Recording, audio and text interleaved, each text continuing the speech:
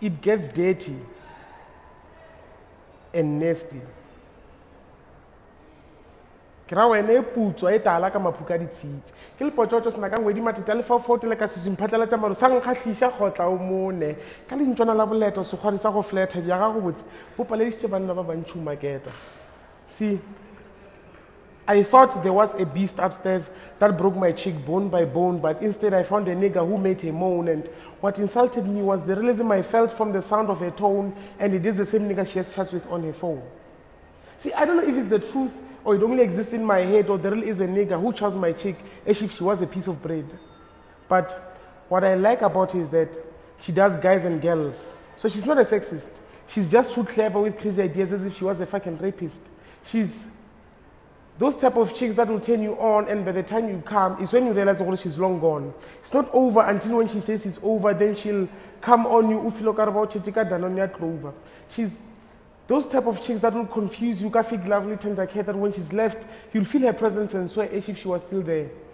Don't let her drive because she'll crash your car not because she can't drive she's a fucking porn star she gives it all nagano go botsa gore emanyana buti a ke da she's those type of chicks that will get you twisted from the life you know. I can tell she's better than any hoe. She's a fucking pro. She's those type of chicks who come because she's way too fast and wena o slow. That's when you realize oh, she doesn't need a tortoise competong. What she needs is a talented ninja. Don't her too much if kilelo bone. That shit got taste. O tlo gama ke ginger. But what I like about her ko nna le na re so she enjoys it a lot when I talk nasty Baby, turn me on and I'll write you a poem with my dick and title that shit with porn.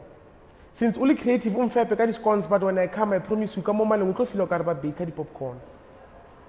Like I said, it gets very dirty and nasty. How she's so hot, sexy, stubborn and beautiful mara go boima go mo describe. Too addictive o porn site ba subscribe. Like I said, it gets dirty and nasty. How she's got the body, the cleavage, the ass, no wonder why she's full of shit. Like literally, unalma said. The desperation. Gore na le ena re jole. E thomile ka re mo betcha ka zaka ya rente hoping gore o tlang accommodate. Then followed my transport money hoping gore o tla nnametsa then she did. Before you know it ke meshika-shika re tsena ka di-back door a o sa kokotiwa. Ke dog style.